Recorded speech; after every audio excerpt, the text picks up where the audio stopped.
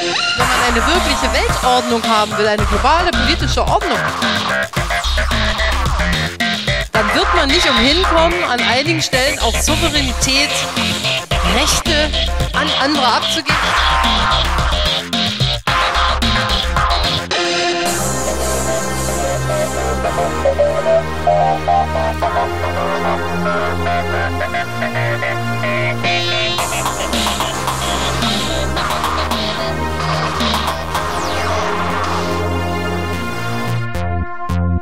Wir kommen jetzt zum zweiten Teil und zu zwei Themenkomplexen innerhalb des zweiten Teils.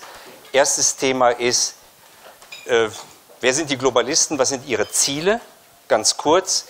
Und dann, was können wir ab morgen auch anders machen? Vielleicht doch ein paar neue auch Anregungen für den einen oder anderen hier. Die erste Frage oder erste Punkt ist, wir müssen uns klar werden, es geht nicht um rechts oder links, es geht um einen Weltanschauungskrieg gegen die Globalisten. Ist ein Geisteskampf und dieser Geisteskampf kann man so formulieren, wer ist eigentlich für wen da? Die Völker fürs Kapital oder das Kapital für die Völker. Und dieser Krieg der Weltanschauung bedeutet Heuschrecken eben gegen die Völker und Eigennutz gegen Gemeinnutz als Konzept. Dieser Kampf läuft seit mindestens 300 Jahren, British Empire als Stichwort. Man könnte im Sinne von nachweisbaren äh, Elementen, man könnte natürlich noch mehrere tausend Jahre zurückgehen, da gibt es auch Dokumente, ganz klar. Aber was relativ nah auch zeitlich bei uns nachweisbar ist. Es geht also um das internationalistische diktatorische Konzept der Weltbankiers und dagegen steht eben die dezentrale Organisation der Völker, der Nationen, nur diese sichert ja letztendlich auch die Selbstbestimmung. Äh, ich könnte jetzt viel noch sagen. In den letzten 230 Jahren haben die Briten 100 Kriege und die Franzosen geführt die Amerikaner 220 inklusive Revolution, also schon eine schöne Summe, schöne Bilanz. Genau. Preußen und Deutsche äh, auf den letzten oder vorletzten Plätzen in dieser Richtung. Wir haben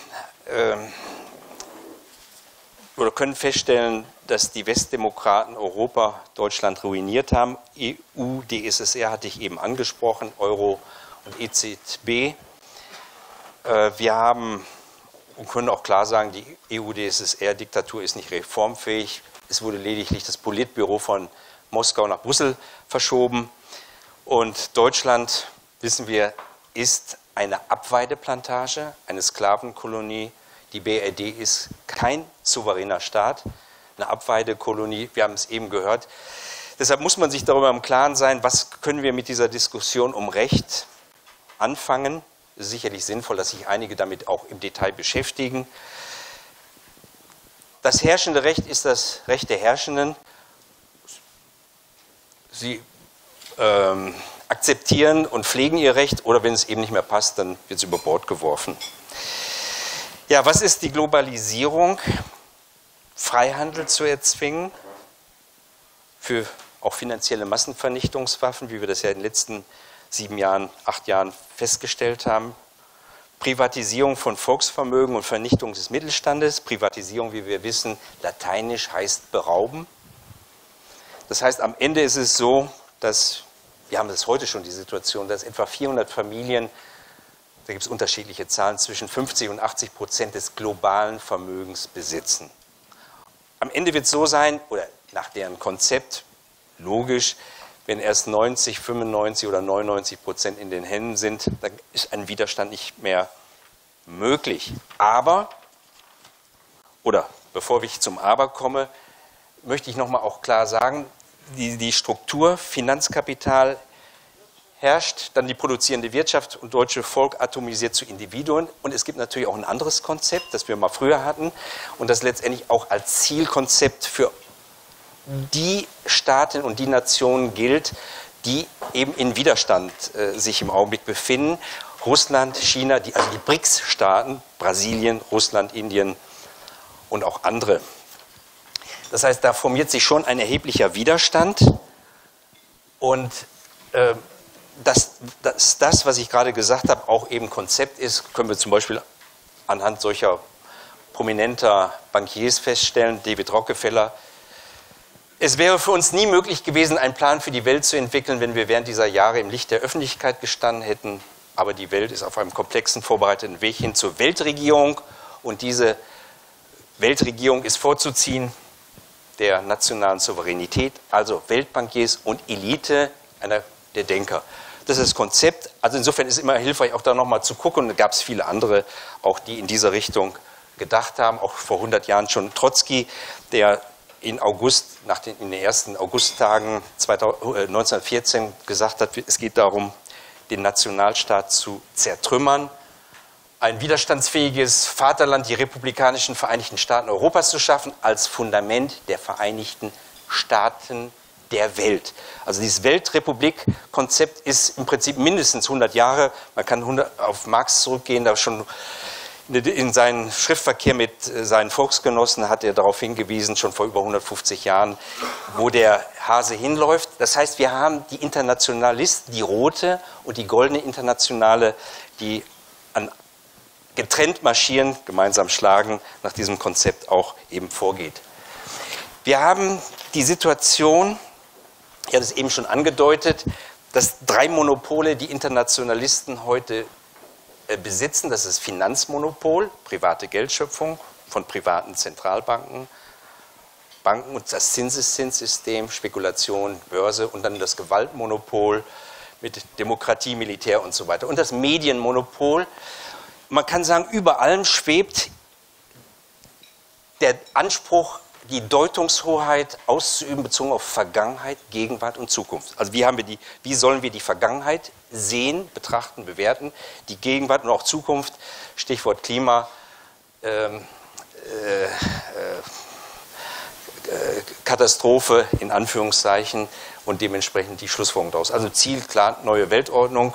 Es geht um drei Dinge, verschleiern, einschüchtern, verdummen, um eben dahin zu kommen.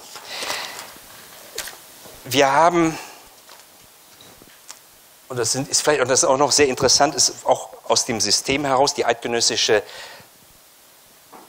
ähm, die, äh, die ETH, die Eidgenössische Technische Hochschule in Zürich, hat vor zwei, drei Jahren eine Studie durchgeführt, die belegt, hat sich die 43.000 größten global operierenden Konzerne angeguckt und hat versucht, auf die Eigentümer zurückzukommen. Also diese äh, ein Großteil dieser 43.000 Konzerne oder der größte Teil liegt äh, eben in, in, den Händen der berühmt-berüchtigten Bankiers. Und die haben natürlich am Ende auch wieder ihre Banken. Also das nochmal so auch als Bestätigung zu dem, was ich eben gesagt habe.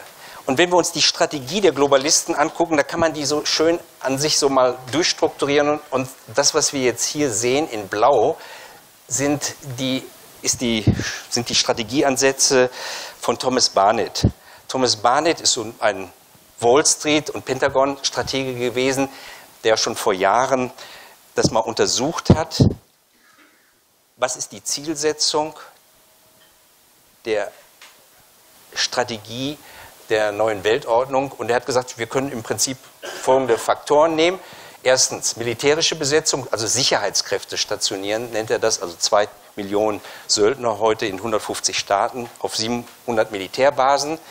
Dann haben wir die wirtschaftliche Besetzung, also das Kapital muss frei fließen, Investitionen rein, Profite raus. Das, was wir aktuell jetzt hoppla, äh, diskutieren, ist das Thema TTIP, TISA, CETA. Ich weiß nicht, ob ich darauf eingehen muss, aber das sind im Prinzip auch Entrechtungsinstrumente. Das heißt, wenn dann Monsanto in Zukunft in Zierenberg was anbieten will, oder in Kassel oder in Berlin oder besser gesagt in, in, in Brandenburg anpflanzen will, dann führt das dazu, äh, wenn ein aus Umweltschutz- oder Gesundheitsschutzstandards das verboten würde, er mit einer Rechnung präsentiert und sagt, bitte deutscher Steuerzahler, ihr habt mir hier verboten, Geschäfte zu machen, dann dürfen wir das bezahlen. Das ist also das Thema wirtschaftliche Besetzung. Dann das Thema Enteignung der Nation. Klassischer Fall ist ja immer zunächst mal die Hoheit über die Zentralbank und dann die Banken zu übernehmen. Als Libyen besetzt wurde, als Irak besetzt wurde und vorher auch natürlich werden die Zentralbanken übernommen. Rohstoffe werden geraubt. Das heißt, die Rohstoffe dürfen nicht den Nationen, den Völkern gehören. Staatsvermögen wird privatisiert. Das sehen wir bei uns in den entwickelten Abweideplantagen, wie zum Beispiel der BRD. Äh, Stichwort Bahn, Telekommunikation, auch regionale Immobilien, die bisher in der Hand zum Beispiel der Kommunen waren. Privatfirmen werden übernommen mit dem Dollar und der Dollar ist ein Stück bedrucktes Papier, der ja über diese private Geldschöpfung aus dem Nichts äh, produziert wird. Und die Tributzahlungen, das bedeutet, da dieses politische System durch verschiedene Aktivitäten, Fütterung der Banken und Spekulanten äh, eben Kredite aufnimmt, dürfen wir eben diese Zinsen in Form von Steuern bezahlen. Der Zinsetat im Haushalt der BRD ist etwa der zweitgrößte, wenn ich das, der zweitgrößte. Dann gibt es weitere Punkte, was ich eben nur kurz angedeutet habe, ist die, das ist die Zerstörung, oder hier nochmal die folgliche Zersetzung, das gehört auch noch zu Thomas Barnett. Das heißt, wenn, wir brauchen gar nicht an alte Pläne, Huten und sonst und Co. Äh, denken, aber das, was auch aktuell eben gemacht wird, wie wir alle wissen, die, Ein, äh, die Forcierung der Einwanderung, zunächst mal Lohndumping, Zerstörung der Sozialstruktur, Genozid, Völker und die weißen Rasse, muss man ja mittlerweile sagen, wird äh, zerstört. Es gibt Untersuchungen auch zu USA. Es gibt schon eine ganze Reihe US-Staaten, die haben, sind schon gekippt. Da sind die Weißen nicht mehr in der Mehrzahl. Das heißt, bis in die 60er Jahre galt die Einwanderungsphilosophie noch in den USA, dass die USA ein weißer Einwanderungsstaat sind. Und erst durch entsprechende Maßnahmen ist das geändert worden. Und es gibt Untersuchungen, dass in etwa 20, 30 äh, Jahren US-amerikanische Untersuchungen auch die USA dann kein weißer Staat mehr von, der, von den Mehrheitsverhältnissen sein werden. Und es gibt das Thema Bevölkerungsreduktion als Ziel. Georgia Guidestones ist vielleicht bekannt. Selbst in Wikipedia kann man das lesen. Da gibt es eine klare Zielsetzung, Reduktion auf 500 Millionen. Wenn wir heute 7,5, Millionen, 7,5 Milliarden Bürger haben, können wir hier durchzählen. Jeder Zwölfte kann, darf noch sitzen bleiben. Diese Zahlen, da könnte man sagen, ja gut, das ist also auf, in, in einem Stonehenge der Globalisten gemeißelt. Aber diese Zahlen sind auch nachvollziehbar bei Leuten wie Kissinger, der hat gesagt, wir brauchen nur noch 50 Prozent der Weltbevölkerung. Andere haben gesagt, wir können auf 80 Prozent verzichten. Und diese Diskussion innerhalb der US-Administration und der US-Denkfabriken läuft und man kann das auch überall nachlesen.